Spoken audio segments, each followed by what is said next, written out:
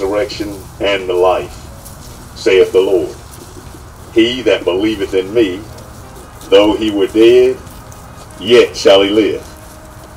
And whosoever liveth and believeth in me shall never die. I know that my Redeemer liveth, and that he shall stand at the latter day upon the earth. And though after my skin worms destroy this body, yet in my flesh shall I see God, whom I shall see for myself, and mine eyes shall behold, and not another. We brought nothing into this world, and it's certain that we can carry nothing out. The Lord gave, and the Lord hath taken away. Blessed be the name of the Lord. Lord, let me know mine end and the number of my days, that I may be certified how long I have to live. Behold, thou hast made my days as it were span long, and mine age as even as nothing in respect of thee. And verily, every man living is all together vanity. For man walketh in a vain shadow, and disquieteth himself in vain. He heapeth up riches, and cannot tell who shall gather them. And now, Lord, what is my hope? Truly, my hope is even in thee. Deliver me from all mine offenses, and make me not a rebuke unto the foolish. When thou hast rebukest, thou chasest man for sin, thou makest his beauty to consume away. Like as were moth fretting a garment, every man therefore is but vanity. So teach us to number our days as we may apply our hearts unto wisdom. Glory be to the Father and to the Son and to the Holy Ghost. As it was in the beginning, it is now and ever shall be, world without end. Amen. Let the church say amen. Amen, amen one more time. Amen. amen yet again. Family and friends, we're here for the homegoing celebration of our beloved sister, our beloved mother, Sister Annie Ruth Poteat Simpson a woman that loved the Lord, a woman that was a trooper for the Lord, woman that was a pillar for the ministry of New Ephesus Missionary Baptist Church in Ruffin, North Carolina. So, family, know that in this moment, uh, the Bible says it this way uh, when one weeps, we all weep, and when one rejoices, we all rejoice. So just know on this day, family, that our hearts are with you, our prayers are with you, and the Lord is going to grace us to get through this moment. One thing we do know, as the songwriter said, earth has no sorrow that heaven cannot heal. This is not the end. And we're not saying goodbye. We're just saying we'll see you a little later on the other side.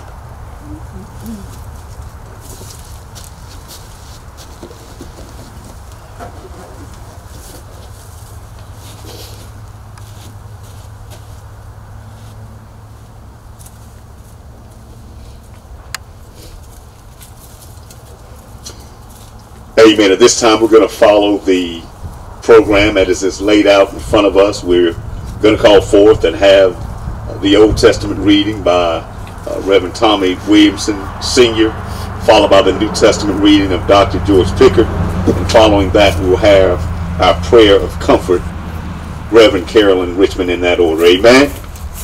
Amen.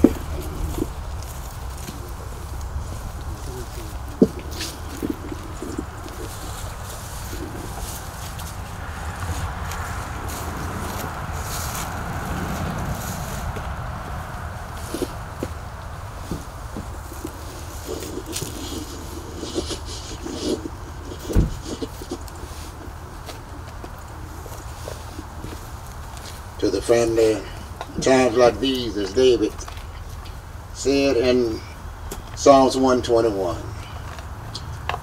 I will lift up mine eyes hmm. unto the hills, which cometh my help. Yes, sir.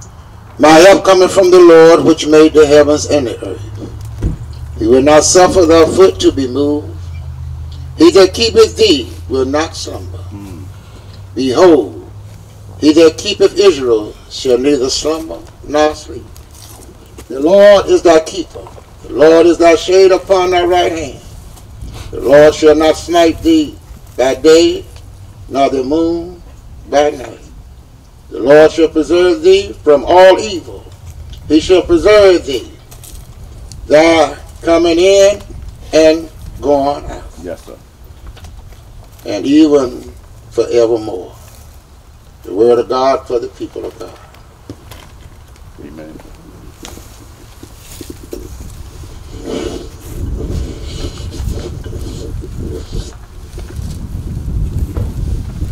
I will be reading into your hearing First Corinthians, starting with the 15th chapter, with the 51st verse.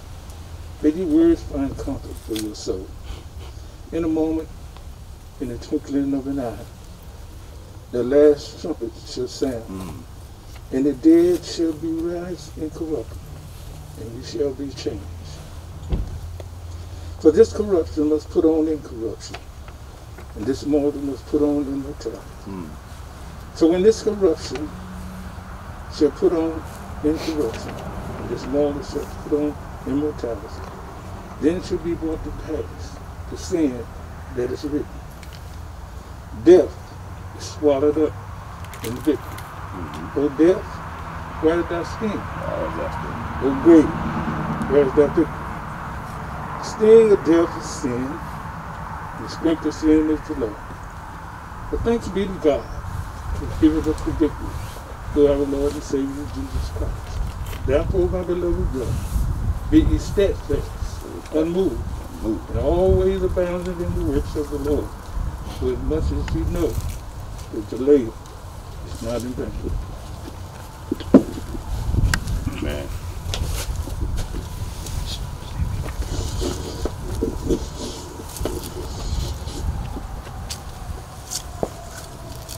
Let us look to the Lord in prayer. Praise be. You look at the podium. Our Father, which art in heaven, hallowed be thy name. Oh, yes. Thy kingdom come, Yeah. thy will be done Uh huh. in earth as it is in heaven. Yes. Heavenly Father, we come right now, Lord, with heavy hearts. Uh huh. But God, we still give you glory, Glory. we still give you honor, and we Yes. still give you praise in the midst of it all. Oh, yes. We thank you, Lord, Thank you. for each and every person that are gathered here as we say goodbye to our Aunt Ruth. Lord, we thank you for the 99 and a half years you allowed her to be on sir. this earth. Yes, sir. Thank you. We thank you, Lord, for keeping your loving arms wrapped all around her. I pray, God, you will continue to, to look upon this multitude of nieces, nephews, great nieces, and great nephews. now. Then, Father, look upon the cousins. Look upon the friends, God. God, as we sit here and say goodbye, knowing, God, that we loved her, but you loved her best. Oh, yes. And we thank you, Lord, for how she was able to be all the person that she was, a humble person. Yes. Ah, she was very quiet, God, but we thank you. Thank you. Oh, God, we thank you Thank you. for continually to bless her while she was here. Do now. Now, Father, she's gone, Yeah. and we're still here. and we still gonna have to do the same thing that Aunt Ruth is doing. Yeah. But God, we may not uh, see 99 years, God, but we're going to be grateful for what years you allow us to have. Thank you. God, we thank you. And God, we praise you now. Yeah. We pray, Father, that you will continually now to look upon Abner, God, and look upon Prentice, God. I pray, God, you will bless them. uh, Because, God, uh, Aunt Ruth looked at them as her grandchildren, God. And I pray, God, that you'll keep them covered under your blood. Then, Father, I pray that as a family, God, we will continually to love one another. Yes. One another, God, in spite of. Thank you, Lord. Because situations and circumstances will come in life. But God, we have to continually to look to the hills. Oh, yeah. From whence cometh our help. Oh, yeah. Because all of our help coming from thee. And we just want to say thank you. Thank you, Now. Father, we give you glory. We give you honor. Honor. And we give you praise. We ask these blessings, Father. And many other blessings, Lord. We ask it right now in your Son Jesus' name. Amen. Amen. And amen. Amen.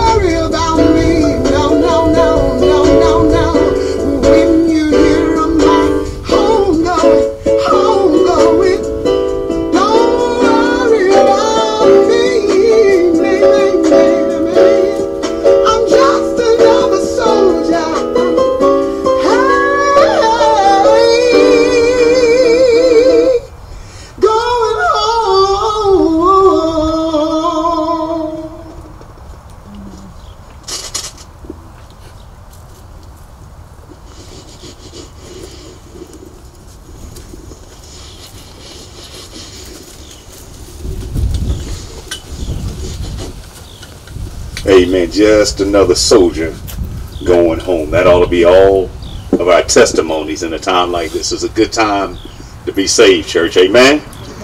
Amen. Again, family, we thank you, uh, this awesome family, for allowing us uh, to be a part of this moment uh, in the life uh, and in the celebration of uh, Mother Ruth. Indeed, she will be missed. Uh, indeed, she was a pillar to our ministry. Not going to belabor this hour or this moment. Uh, our scripture for today will be coming out of the book of Job, chapter 19. I'm going to begin reading at verse 25 and read down through verse 27. Job chapter 19, begin at verse 25, read down through verse 27. Job chapter 19, beginning at verse 25, read down through verse 27. It reads as follows For I know that my Redeemer liveth, and that he shall stand in the latter day upon the earth. And though after my skin worms destroy this body, yet in my flesh shall I see God, whom I shall see for myself, and mine eyes shall behold, and not another.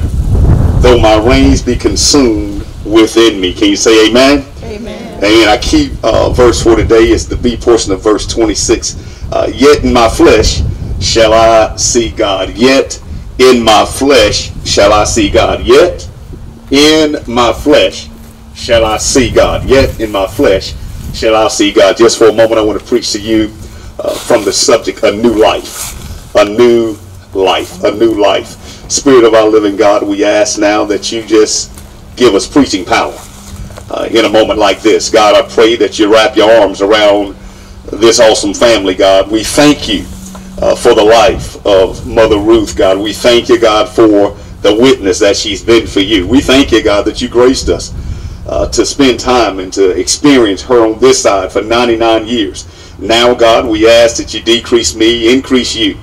You get the glory, you get the honor, you get the praise. Magnify yourself, glorify your word, and bless this, your family. In Jesus' name we pray. Amen and amen. Uh, church, we, we, we've all made, uh, or at least have heard this statement at some point or another. If I only knew then what I know now. Uh, if I if I knew then what I know now, life would be easier. Uh, life would be uh, so much better. In fact, some parts of my life would really be like brand new. All of us uh, like the sound of this word "new." This this word means church uh, not existing before. It means family made, introduced, or disconnected, or, or discovered for the first time. All of us like the word "new." We like something new. We like a new house. We like the smell of a new car. We like how new clothes fit. All of us like things that are new. Am I right about it? And, and, and, wouldn't it be great if we could start life all over again knowing what we know now? Wouldn't it be great to go through school again knowing what we know now? Wouldn't it be wonderful to do our careers all over again knowing what we know now? And though we can't go back and do this life over, we can look forward to a new life on the other side. And family, while this looks like the end for Mother Ruth, I stand to remind us that it's really a new beginning. Because God, in his infinite wisdom, made arrangements on the cross 2,020 years ago for all of us. An arrangement is made in advance, and it means that when the appointed time comes, we've all adjusted for something brand new to happen. And when Jesus rose and said, O death, as Dr. Pickett read, Where's thy sting? God was making an arrangement for Mother Ruth at that point. When Jesus rose and said, O grave, where is thy victory? God uh, was making an arrangement for Mother Ruth. And family, you've done an awesome job today making arrangements on earth. And now God has done the ultimate arrangement now in heaven.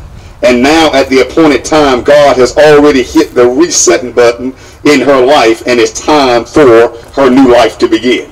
Uh, so, family, while you might miss her, Jesus said it this way Let not your heart be troubled. You may cry some tears, but let not your heart be troubled. You may have to go through a process in this moment, but let not your heart be troubled. Because God has already given her a new life. I wonder, is there anybody else here today listening to me that's interested in having a new life like Mother Ruth? It's all because she. It's all because God lives. Uh, the Bible says. The Bible says. The Bible says in verse 25. I know my Redeemer liveth. I know that my Redeemer liveth. I wonder if anybody else is ready for a new life. Paul said it this way forgetting those things that are behind and reaching for those things that are in front of me. Anybody pressing toward the mark today of the high call in Christ Jesus? A new life where there's no more pressures. A new life where there's no more problems. A new life where there's no more pain. Anybody looking forward to a new life on the other side? A life of peace, family. A life of joy. A life of victory. Family, we must give God a praise for preparing us a new life. Notice here in verse 25, he says, For I know. This says to us, family, that, that, that our relationship with Jesus it has to be personal.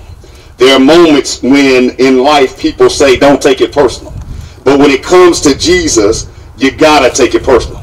In other words, nobody can do this relationship with Jesus but you. Mama can't do it. Daddy can't do it. Pastor can't do it. Deacon can't do it. Nobody can do the life with Jesus but you. But when it comes to Jesus Christ, you gotta take it personal. And when you look at the life of Mother Ruth, it's evident that she took Jesus personal. When it comes to her friends, she took Jesus personal. When it was came to family, she took Jesus personal. When it came to serving her God, she took Jesus personal. The songwriter said it this way, may the life I live speak for me. So the Bible says in verse 25, I know my Redeemer lives. A Redeemer family is one who has repurchased or delivered another out of bondage by paying a debt. Now, Job could have said, I know my Savior lives, and he would have been accurate. He could have said that, that I know my champion lives, and he would have been accurate. He could have said that I know my advocate lives, and he still would have been accurate. But instead, he said, I know my Redeemer liveth. In other words, family, he was confident that the one who had purchased him still lives today. And because he lives, Mother Ruth will now live on the other side. She lived until she died. Now she'll live again. What a mighty God we serve because he lives. And family, what that means to us is who are still on this side, the songwriter said it this way, because he lives, I can face tomorrow. I know that there's a void. I know that there's a pain. I know we have heavy hearts right now, but because he lives, all fear can be gone. And life is worth the living just because he lives. Can I get a witness? That because he lives, we will make it. And family, now is the time that you have to do like David and begin to encourage yourself in the Lord. And say, because he lives, I can look to the hills from which cometh my help, recognizing all my help in this moment will come from the Lord. Because he lives, I will trust in the Lord until my time comes to die. Because he lives, Father, I stretch my hand to thee no other help I know. And this, this is what we see Job saying and doing in verse 26 when he says, after my skin worms destroyed this body. Somebody say. This body. In other words, church, Job says, when I die on this side, the body I'm in right now is going back to the ground. That's why we say ashes to ashes and dust to dust. Because this body, somebody else say this body. The body I'm in right now is not permanent. Family, we're going to lay this body down. That's why Paul said to be absent from the body is to be present with the Lord. That's this body. But I'm so glad that God has prepared us a new body that we that will see God. And this is what Job is saying at the end of verse 26 when he says, Yet in my flesh I shall see God. Pastor, what are you talking about? Well, Dr. Pickard read it and alluded to it in 1 Corinthians 5 and 1. He explains that the new body for us tells us for we know that if this earthly body, this body, is dissolved, we have another body that's not made by hands. See, this body is not built for the long haul. This body is not built to last. That's why some of us are hurting right now because this body is not built to endure. That's why all of us are aging every day because this body won't see God. But I'm so glad that God promised to give us a new body in heaven. Can I get another witness right about now? That's why we say we're going to take off corruptible, as Dr. Pickett read, and put on incorruptible. That's why we say God is going to give us a new body in heaven. That's why we're going to take off mortality and put on immortality. Because God's going to give us a new body in heaven. Somebody that's hurting in this body ought to be glad about the new body that's coming your way. Can I preach about this new body for just a little while as I take my seat? There'll be no more pain in this new body. There'll be no more hurt in this new body. There'll be no more suffering in this new body. Church Mother Ruth has a new body over yonder, somewhere over yonder where the chilly winds don't blow. I believe that she's enjoying her Lord and Savior Jesus Christ, where there's no more sickness, there's no more cancer, there's no more arthritis in this new body. Anybody glad that you got a new body that's on the way? No more crying and no more dying. Somebody else say new body.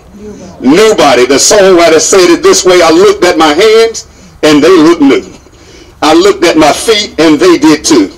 Anybody getting ready for a new body? Understanding that there's a leak in this old building. And one day our soul is going to have to move. That's why you better do like Mother Ruth and begin to send up some timber every day. Because every day that goes by, we're one step closer to doing what Mother Ruth has done already. Every day that goes by, we're one step closer to meeting our Lord and Savior Jesus Christ. Every day that goes by, we're one step closer from crossing over the chilly Jordan. Church, every day we need to be sending up some timber every day. Pastor, what do you mean sending up timber? You need to be thanking your God every day. With all that's going on in society and we're still able to move about and breathe, we need to be thanking our God every day. We need to be loving our God every day. We need to be sending up timber and praising our God every day. Sending up timber and blessing our God every day. The scripture said it this way, bless the Lord, O my soul, and all that is within me, bless his holy name. Family, you ought to bless God for the life that she lived. Bless God for the family that she loved. Bless God for the friends that she helped. Bless God for the example that she gave. Family, you ought to be encouraged today to know that you had a family member that's going on to be with the Lord. Everybody won't walk this walk, but for those of us that know our Lord and Savior Jesus Christ, for those of us that have committed our way unto the Lord, for those of us that have put our hands in God's hand, we got a reward on the other side. Somebody ought to be glad that this is not the end, but yet another beginning for a new life. Somebody give God a praise. Amen. Amen and amen. We thank God. We thank God. We thank God for these kind of soldiers that literally are examples to us in where we have to go. God is so awesome in how he does things. He doesn't leave us down here to figure things out, but he constantly is what I call ordering our steps. Not only through the example of the scriptures, but through the examples of others that he's empowered to live for him. None of us are perfect, but all of us are faithful that love our Lord and Savior Jesus Christ. Family, it's going to be all right. I know this moment is difficult, and I know these days seem long but trouble don't last always. The scripture said it this way, weeping may endure for a night, but God has promised that joy will come in the morning. Let's go to the Lord. Father, in the name of Jesus, we come right now, God, to say thank you. We thank you, God, that you're the kind of God that you still are on the throne even in a moment like this. In a moment, God, where we're hurting and in a moment where our hearts are heavy, we thank you that you're still the same God. Lord, please now, in the name of Jesus, wrap your arms around this family. Comfort them, God, like only you can. Do, Lord, what only you can do. You know, God, what they each stand in the need of, God. You know what they stand in the need of collectively. Now, God, come by here, Lord. Come by here and do and be what only you can do and be. God, we thank you for celebrating the life of a warrior and a soldier in this day. We ask these things in Jesus' name. Amen and amen. At this time, we're going to move into our moment of committal, and I'm going to do the committal, then I'm going to ask Dr. Pickett to come and to give the final prayer and the benediction. For as much as it hath pleased Almighty God in his wise providence to take out of this world the soul of our deceased sister, we therefore commit her body to the ground, of earth to earth, ashes to ashes, and dust to dust, looking for the general resurrection in the last day and in the life of the world to come through our Lord Jesus Christ, at whose second coming in glorious majesty to judge the world, the earth, and the sea shall give up their dead, and the corruptible body of those who sleep in him shall be changed and made into his own glorious body, according to the mighty working whereby he is able to subdue all things unto himself.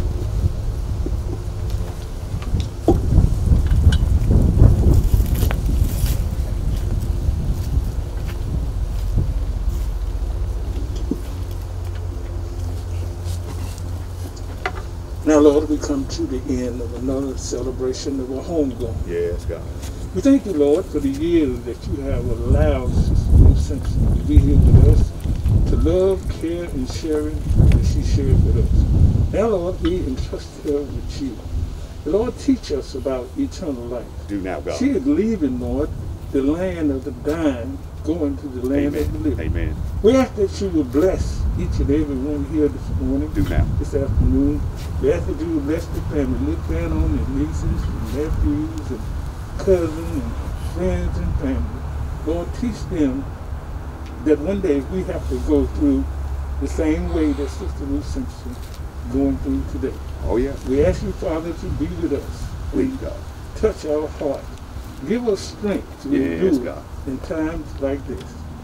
Amen. And Father God, we ask that you would be with this family they go to their birth home and birth place. Get them traveling with Please, grace. God. Father, keep all incidents and accidents away from them and bless them as they go. In Jesus' name we pray. Amen. We'd like to take this opportunity. We want to thank uh, Dr. Balkins, Dr. Pickard, and the other program participants, uh, Reverend Carolyn. We appreciate you. Uh, we appreciate the solo was done by the sweet two girls here. And all of you that have come out to show your love and support for this family, we truly thank you for coming out today. We ask you continue to pray for them, that you will uplift them in your prayers. And family, thank you for allowing us to serve you. And our service is not of the day. If we can do anything further, please let us know. This concludes our homegoing service for our beloved Aunt Annie Ruth Poteat Simpson. Amen. May her heart and may her soul be at rest and peace. And God be with all of you, family. And may we all go in peace. And now you may return to your cars. Thank you again for coming.